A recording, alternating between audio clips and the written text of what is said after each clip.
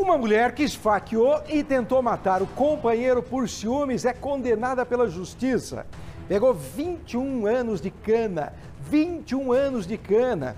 Estas imagens ajudaram na condenação da tal da Aline. Coloca a reportagem no ar. Imagens de câmeras de monitoramento flagraram Aline Silva Tesca esfaqueando o marido.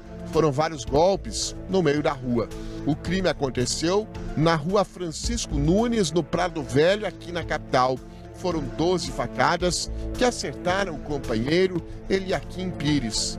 Nas imagens é possível ver Eliakim saindo de casa já ferido.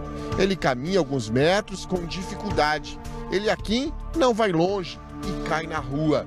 Ao ver o marido caído, Aline continua o agredindo. Após as facadas, Aline, pensando que Eliakim estivesse morto, foge. Mas Eliakim sobrevive. Hoje, ele está com a saúde debilitada. Nunca se recuperou das facadas que recebeu. Na época dos fatos, Aline chegou a ser detida pelos investigadores aqui da Divisão de Homicídios e Proteção à Pessoa. No depoimento prestado ao delegado que investigou o caso, Aline contou que tentou matar Eliakim porque estava tomada pelo ciúme. Na noite anterior ao crime, o casal tinha participado de uma festa ali na região do Prado Velho, aqui na capital. Durante esta festa, Eliakim conversou com uma moça que era desconhecida de Aline.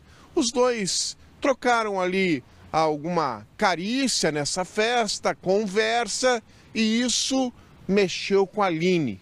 Ao reencontrar o marido, porque ela sai da festa, vai embora, no outro dia, ao ir à residência onde estava o companheiro, ela tomou tal atitude. Aline fugiu, mas não conseguiu escapar da prisão. Ontem, a Aline foi julgada por tentativa de homicídio. As imagens e o depoimento de Eliakim ajudaram a condenar a Aline. Ela pegou uma pena de 21 anos de prisão.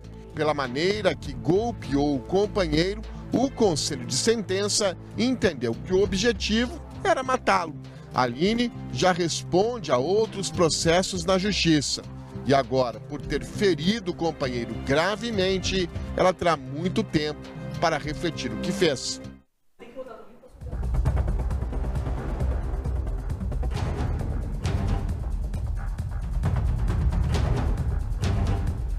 Gente, uma reviravolta no caso de um greve.